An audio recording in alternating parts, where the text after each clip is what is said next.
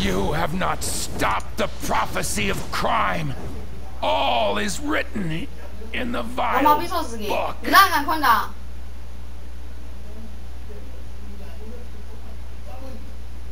Take the book. Hang in there, Batwoman. We'll get you to a doctor. The religion of crime is targeting me. I need to know That why. woman is safe, and the we have the crime the Bible. answers. Whatever this prophecy may be, we need to make sure it never comes to pass. I'll keep you posted. Oracle out.